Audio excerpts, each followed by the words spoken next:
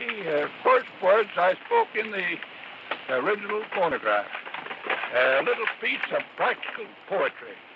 Mary had a little lamb, its fleece was white as snow, and everywhere that Mary went, the lamb was sure to go. Thank you, Mr. Edison. Welcome to Matinees on Main Street. My name is Alan. This is a podcast about the movies. We are now up to the fourth episode, which is the story of America's greatest inventor, Thomas Edison.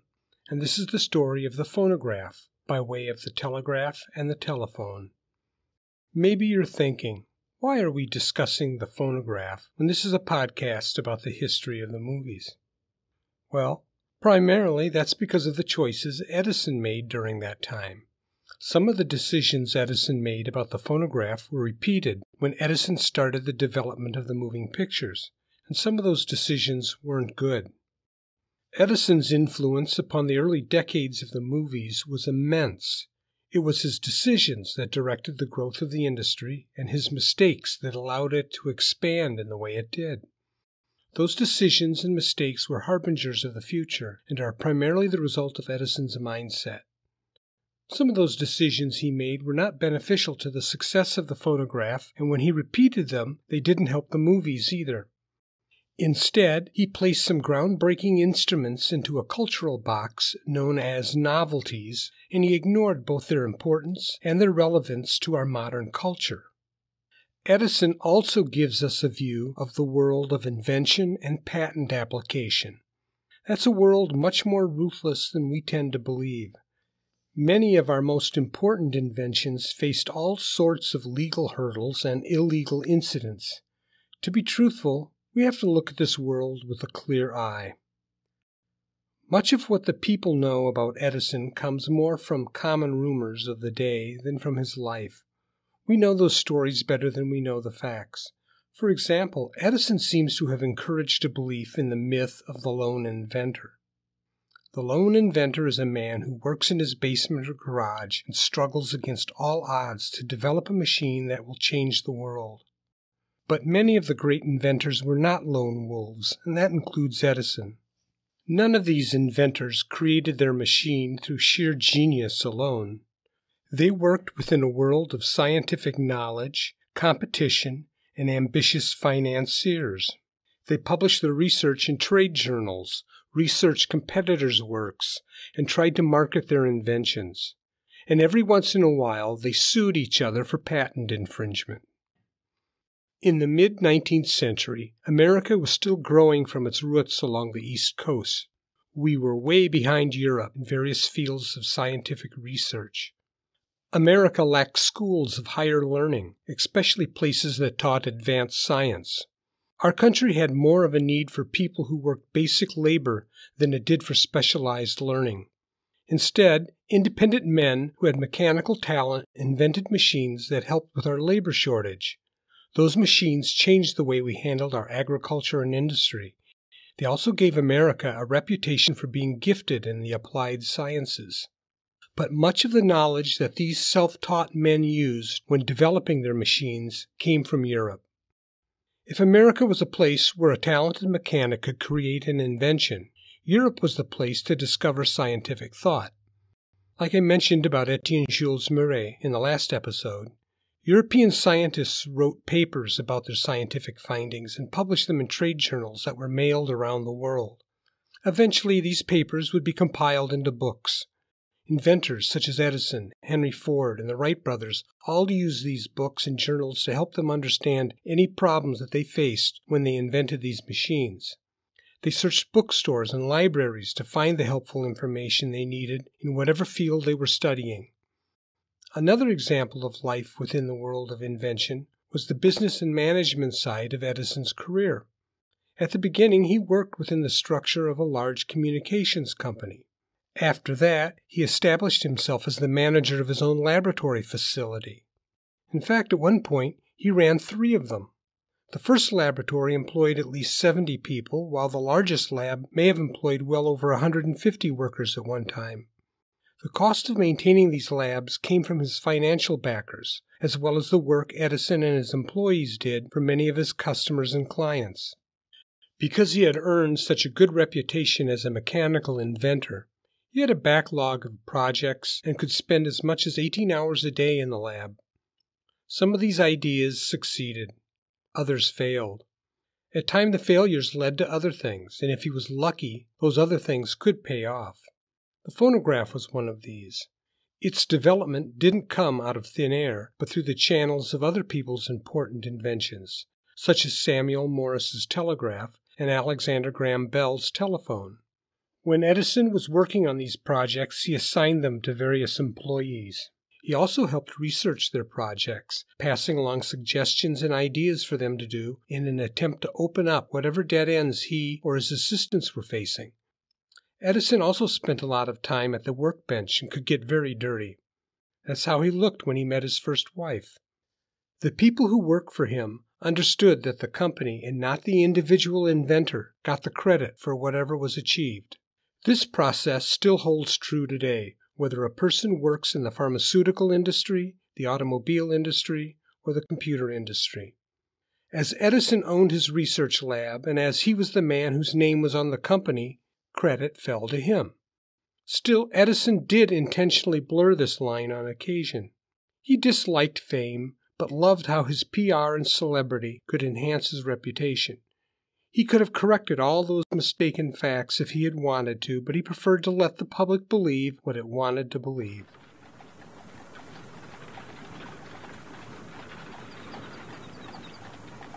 Young Tom Edison was born in Ohio in 1847. Because of the growing rivalry between the canal building industry and the up and coming railroad industry, the family's hometown suffered, and the Edisons abandoned their failing business. They moved to Port Huron, a town in Michigan that was serviced by the railroad. Edison was what we would call homeschooled. His mother taught him writing, arithmetic, geography, and other basics, but his great interest was science. During his childhood, Tom started selling concessions on the train route, offering newspapers, tobacco, and fruit. His business was successful enough that he expanded it into other trains and hired a few boys to handle the excess business. During this time, he continued to read science books as well as experiment in chemistry. It was also around this time that he lost a significant amount of his hearing. During his adolescence, he rescued a young boy who was playing on the railroad tracks while a train was approaching. The boy's father worked as a telegrapher and rewarded Edison by teaching him telegraphy. Over the next several years, Edison worked as a telegrapher meaning he sent telegraphs and received them, usually taking the night shift as the slower communications traffic of the nighttime allowed him to work on his scientific experiments. The job also encouraged his interest in electricity, which allowed him to apply whatever electrical theories he learned. After the Civil War, he settled in Louisville, Kentucky. Unfortunately, he lost his job as a telegrapher after one of his science experiments started a fire. Desperate for work, he wired a friend out east and became a telegrapher in Boston. It was in Boston that Edison started his professional career as an inventor. While he continued to work as a telegrapher, he also experimented with chemistry and mechanics at an industrial machine shop where its owner, Charles Williams, rented out space to inventors. There he started investigating ways to improve the telegraph. Among the ideas he pursued was an election ticker for state legislatures. He also investigated further improvements on the telegraph, such as increasing the number of messages that could be carried on one line. He wasn't the only one at that time that was working on improving the telegraph. Joseph B. Stearns also worked at the rental lab and was developing a telegraph that could send a fire alarm while routine messages continued to be transmitted.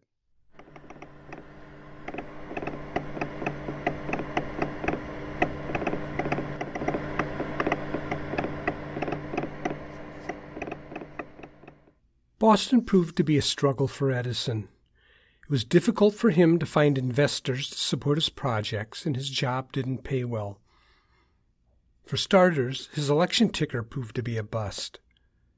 This fiasco forced him to proclaim that from now on he would only work on ideas that had guaranteed profitability. This promise would prove to have a big impact on the way Edison treated both the phonograph and the movie making process. His time in Boston ended when he attempted to test the duplex telegraph he had devised.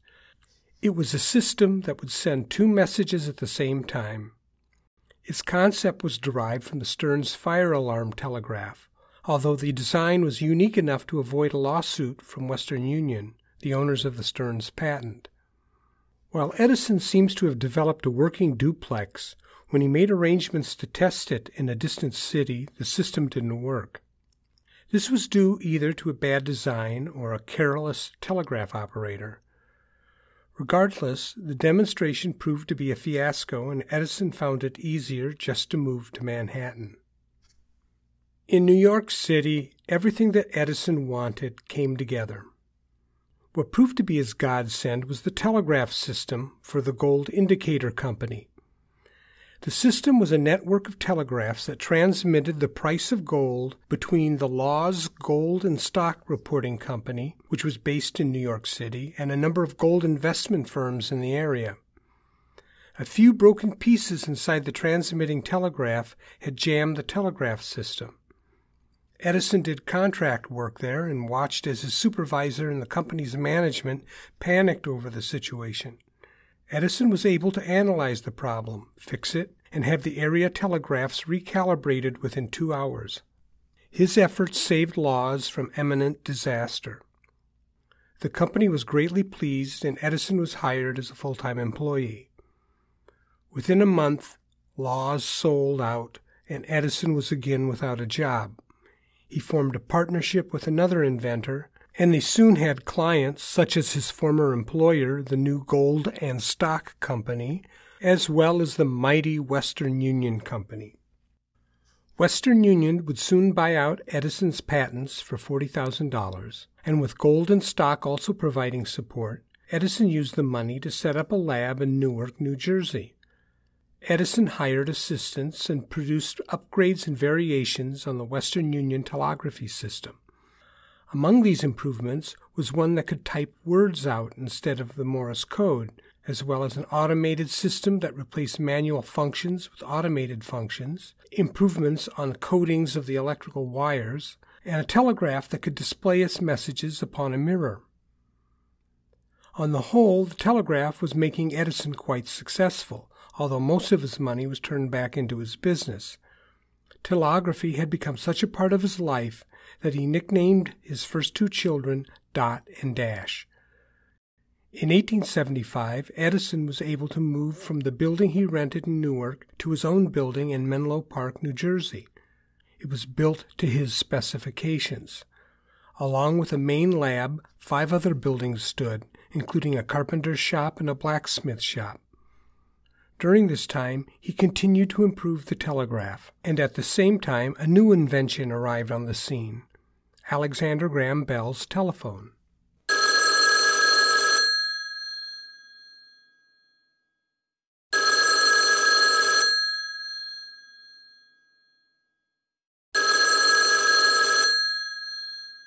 Just to let you know, it's at this point that the story gets dangerously complicated and much of it doesn't apply to the phonograph. At the same time, some of it does apply. So rather than tell the whole sordid tale of the development of the telephone, I'll try to separate the wheat from the chaff.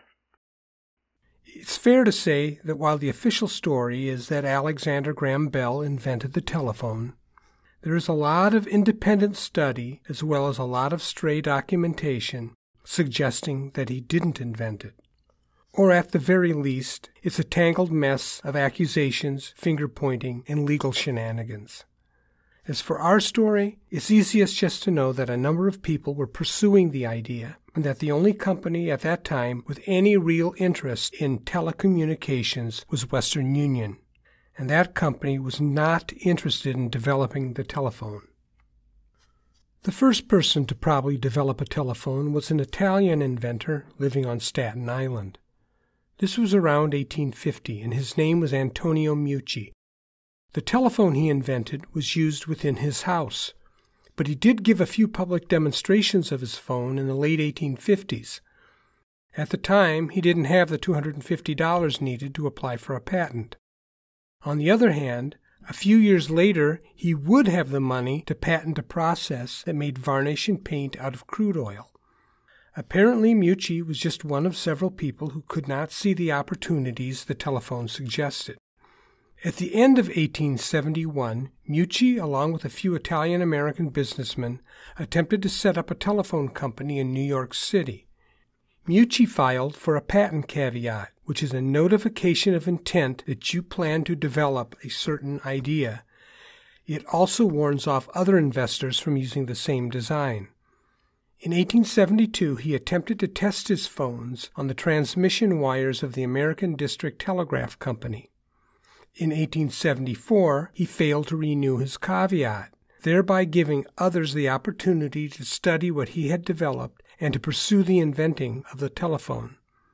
In 2002, the U.S. Congress acknowledged that Meucci was a pioneering developer of the telephone. Now, how much did others know about Meucci's work? For starters, Meucci's inventiveness seems to have been across the board, as he created a number of inventions and devised a number of formulations in different fields of science. His inventions and patents were occasionally reported in local and regional newspapers, and considering that his patent caveat also contained a schematic of what he did, it's hard not to believe that other inventors were not aware of what he was doing. By 1875, Western Union was still not interested in the telephone, even if the invention proved capable of using Western Union's telegraph lines. That disinterest included any telephonic ideas or projects being developed by Alexander Graham Bell or, more importantly, Elisha Gray. So, who was Elisha Gray? Gray was probably America's best regarded inventor at that time. Like Edison, he had provided a number of patent changes and inventions to Western Union. When Western Union bought out Gray's patents, he was able to establish his own development company, which was the Chicago based Western Electric Company. While both Gray and Edison were now independent inventors, Edison would continue to direct his interests towards Western Union's viewpoint, while Gray started working on other ideas that involved electric motors. What connected Edison and Gray to the telephone was the quadruplex, the latest telegraphic concept that Western Union did want to pursue. Edison would eventually develop the quadruplex in 1874, but in the early 1870s the field was more open to independent inventors.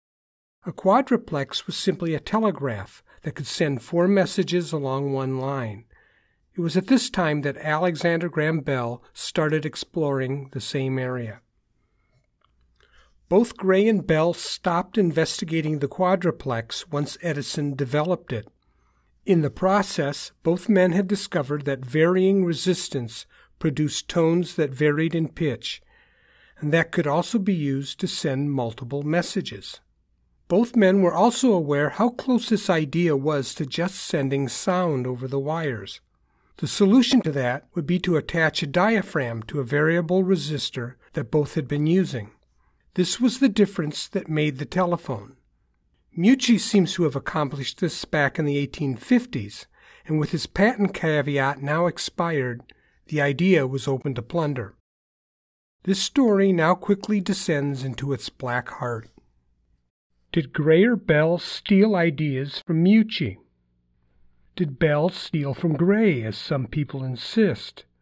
Or maybe steal is too strong a word, as these ideas were now open to others. Did Bell come up with these ideas on his own, or did his father in law uncover them for him?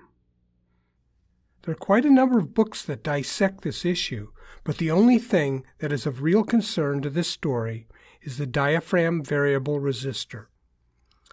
As Western Union was interested in this mechanical device because of its link to transferring sound through the quadruplex, it would soon be passed on to Edison to be improved upon.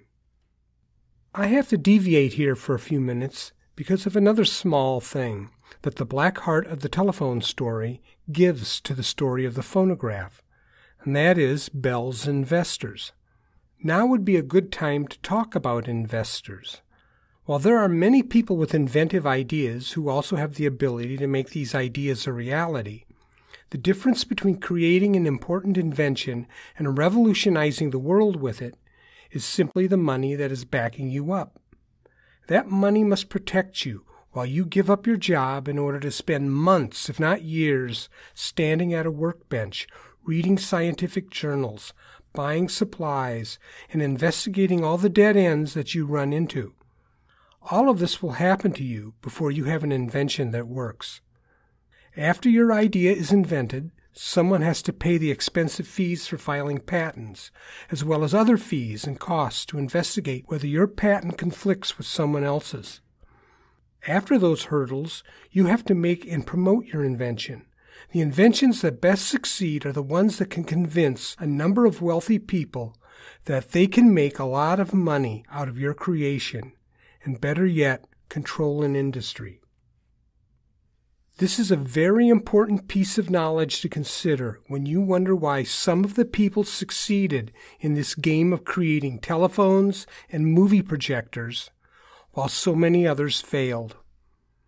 Elisha Gray succeeded in telegraphy, but he would eventually fail in the telephone because others were quicker with the money, despite Western Union's backing.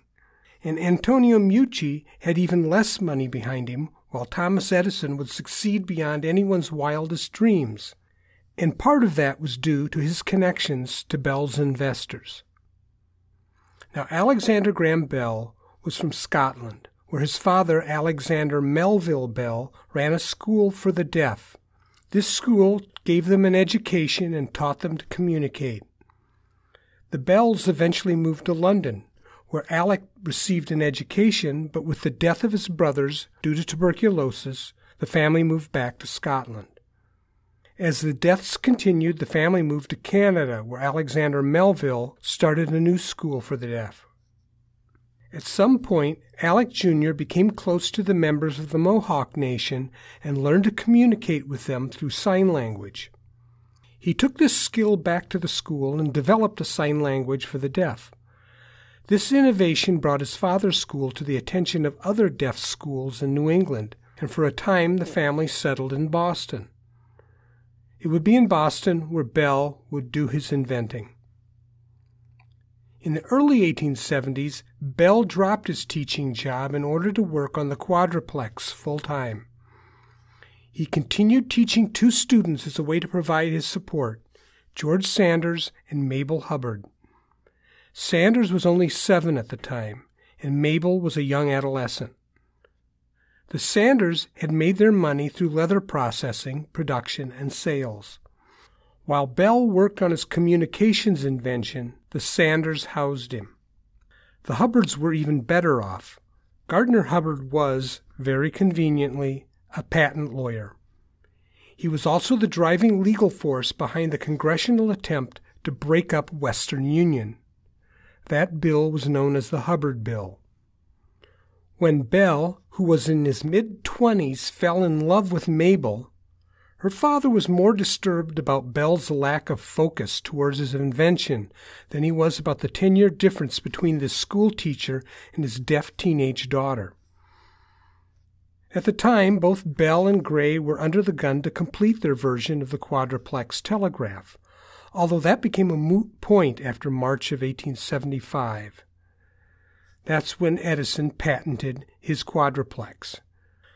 From there on, Gray and Bell both focused on the harmonic telegraph, at least until both men suddenly shifted to what we think of as the telephone. Both Bell and Gray wanted credit for the telephone, but it was really only Bell and his financiers who developed the telephone's potential. Everyone else involved with the invention of the telephone saw it as a novelty, at least until the threesome started to make money. Even Gray was much more concerned about his musical telegraph than he was about a voice communications machine. Bell, Hubbard, and Sanders formed Bell Telephone, and while the majority of the stock was split between the three men, Bell gave almost all of his stock to Mabel when they married two days after incorporation. At the start, Bell Company made its money renting out their phones instead of selling them, but it expanded aggressively, and like the later phonograph parlors and Nickelodeons, investors were eager to start up Bell rental centers across America and even Europe. As for Western Union, they didn't concern themselves with any of this until they saw how aggressively Bell Telephone had expanded. Finally, in 1877, Western Union was suddenly taken by the idea of the telephone. The company had been sitting on Gray's patents, and now they wanted to do something with it. There were also rumors that they were holding Meucci's telephone, but that doesn't seem likely. The supposed reason for Western Union's change of heart was that the communications traffic on the quadruplex was so heavy that it made conversations between management and their field telegraphers nearly impossible. It was suggested that an internal telephone system would solve the problem. Unfortunately, Western Union wasn't happy with Gray's variable resistor and asked Edison to improve it. What he came up with was a transmitter that used a carbon button rather than moistened paper. Unfortunately, Emil Berliner, a German American, also claimed to have developed the same thing. Berliner would fight Edison's patent in court and lose. Like the investors, Berliner is another name that will be later involved in the phonograph story, as he's the man who developed the flat record. On a whim, Edison inserted a needle into his carbon transmitter and dragged it across a piece of waxed parchment. He did this while talking into the transmitter. To Edison, it was a lark, but he was able to hear himself repeat the alphabet when he dragged the needle back over the groove. The next things that happened proved to be quite prophetic for the movies. Edison's cute little trick with the transmitter and needle was done sometime in July of 1877. To him, it was a novelty that humored him, but Edison didn't take novelties seriously. During that summer, Edison had experienced his first taste of celebrity. His duplex machine was at the center of a lawsuit between Western Union and renegade financier Jay Gould. Due to the trial's publicity, Edison's name suddenly appeared in the press, and the first articles about his life and talents were humoring his ego. This was the kind of celebrity he enjoyed. At some time between July and October of that year, Edison sketched out an idea for a machine that would be able to do what that transmitter and parchment paper did. He kept the needle idea and had its sound amplified by a diaphragm and horn. Instead of wax paper, he had tinfoil wrapped around a cylinder. The cylinder was cranked while the needle was set in place in order to carve an acoustic groove into the tinfoil. When the cylinder was cranked, the needle started scratching its groove. Tom Edison spoke into the machine. There had been discussions in the scientific community about recording the human voice in much the same way that photographs could record the human face. The most prominent name connected with the idea was a Frenchman, Charles Cros. He had designed a machine but had not yet constructed it. That had led some people to believe that it wasn't possible. Edison said publicly that he had accomplished this, with the usual chorus of doubters chiming in. So Edison appeared at the office of Scientific American magazine and produced his machine for the front office to see. Cranking the handle, they heard his voice rising out of the phonograph's megaphone. The science publishers were stunned and amazed. Now, a number of Edison books believe that this happened in early December of 1877, but a number of newspapers from the first week of November highlight the Scientific American surprise.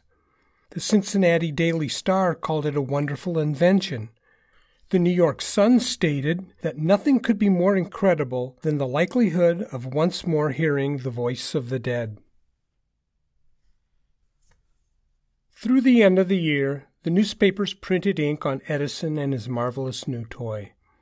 These stories appeared just as the articles about the Western Union Jay Gould trial were winding down. America and Europe had become amazed by the news of the phonograph. With the advent of the new year, Edison found himself a celebrity and one who was finding his precious work time being stolen by celebrity seekers. In particular, the crowds had started showing up at his Menlo Park laboratory so that they could take tours and talk with the nearly deaf celebrity who had captured sound. Edison was already frustrated by this sudden attention, but at the same time, he sent one of his associates, Edward Johnson, on a lecture tour that spotlighted the phonograph as it recorded and played to astonished audiences. These lectures and performances further inflated Edison's sudden celebrity. Over the year, Edison continued to humor the press, but grew more frustrated with those who interfered with his work time. Even his investors considered the possibility of marketing the phonograph, but he ignored their idea. Soon, Edison was pursuing another idea that a number of inventors had discussed but had failed to build the light bulb. With this, Edison took a shift towards urban electrification. Through much of the first half of the 1880s, he immersed himself in an attempt to electrify the city of New York using neighborhood substations that provided direct current power. At the same time, George Westinghouse and Nikola Tesla were promoting a different form of electrical power, alternating current. Edison considered AC too dangerous to use, but Tesla found ways to step down the power. Between the current war and the many problems he faced in electrifying a New York neighborhood, Edison's work was proving to be frustrating at best. Now, looking back on this part of the story, you can see that Edison enjoyed playing around with the recording of sound when it was in the discovery stage. He also seemed to like the idea of designing a machine and giving it to someone else in the lab to build. By the way, that's a common practice in lab work. He also liked the attention he received from the press concerning his discovery. But once celebrity caused the disruption of his daily work schedule, with a number of people arriving to see the facility and talk to him, he found it quite frustrating. Edison was actually a patient man when it came to inventing. He was so patient that he was willing to work day and night on projects. It was his joy, his reason for living but his focus was on projects that seemed important at the time. The telegraph was important as it contributed to mass communication. As he saw it, the phonograph was a machine whose production would need a lot of capital. It would require a manufacturing facility, but its life expectancy was assumed to be really short. The act of lighting cities was important because it broke up the gas monopoly. Gas was the civic utility that charged high prices for people to illuminate their houses and businesses. Edison thought that the creation of an electric utility would give the public lower prices. He never foresaw that the electric companies would become just as disliked in the 20th century as the gas utilities were in the 19th. Edison liked creating inventions and processes that benefited people, not entertained them. When he started to study a way to make moving pictures, it was just as a side project, while his main focus was an attempt to salvage the East Coast mining industry. Even William Dickson, the man who was doing the bench work on the movies, was primarily focused on the mining industry. The movies were like the phonograph, they were not important. Neither invention added to human dignity or improved the lives of people. All they did was entertain and nothing was more trivial than entertainment. Through his lawyers, Edison did create an Edison Talking Phonograph Company. Its purpose was to promote the phonograph, primarily through Edward Johnson's lecture tours. He also hoped to use the company to sell his Western Union telephones and carbon transmitters. There were attempts to market the phonograph, but there were problems. The first was cost, as they were handmade at the time. Second was the machines had flaws, and Edison had no time to devote to the improvement of a novelty. Considering that the phonograph would soon be a musical marvel, people were quite surprised to see the machine married to popular music. As it was planned, the phonograph was to be a dictation machine. It could also teach the proper pronunciation of words and language. It was to be a new storage facility for family histories not just the dates of births and deaths, but samples of the way our ancestors talked. It could be used to announce time, and it could teach. Looking back over our technological revolution, it's quite amazing how often we saw that same vision from televisions to computers and even to Siri. Then each one, in turn, becomes our latest form of entertainment. But we know that now. It seems as if we let technology down more than it lets us down. As we come near the end of this long story, people we once discussed, such as Gardiner Hubbard, return. Since forming Bell Telephone, Hubbard became a wealthy man, and as he did with Alec Bell, he invested in Tom Edison. While he wasn't as financially powerful as were a number of other Edison investors, he was probably more interested in the commercial possibilities of the phonograph than were the others. Among the others included George Harrington, who had been a clerk in the U.S. Department of the Treasury, but was later Assistant Secretary of the Treasury under Lincoln. He was known as being the man who organized Lincoln's funeral. Then there was Daniel Craig, who started the Associated Press news distribution syndicate. General William Palmer was a civil engineer who rose from captain to general during the Civil War, and William P. Mellon was a New York lawyer with connections to the U.S. Treasury. All these men were financially conservative with a strong philanthropic streak in their hearts. They invested in railroads and believed in things that brought the country together. Having supported schools for the deaf, Hubbard could also be described as a philanthropist.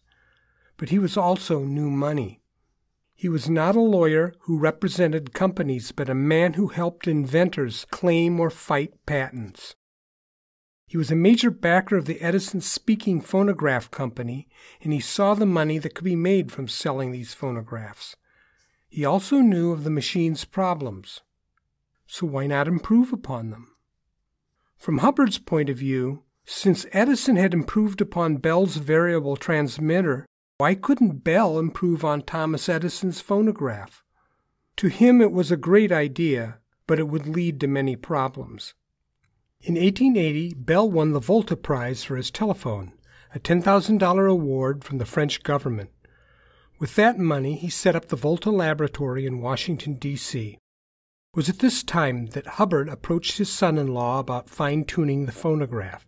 After all, if Edison wasn't going to do it, why not Bell? Bell had hired his cousin, Chichester Bell, an Irish doctor and chemist, to work on the project along with Charles Tainter, a scientist and specialist in instrument making. What they accomplished was to replace the tin foil of the cylinder with a hard wax coating. They also suspended the needle rather than fixing it to the diaphragm. They soon patented the machine, called it a graphophone, and Edison was furious. Still, he only had himself to blame as he had never filed a U.S. patent on the phonograph. Back in 1877, Edison had patented the phonograph, but only in England. No one can explain why Edison didn't file for a U.S. patent.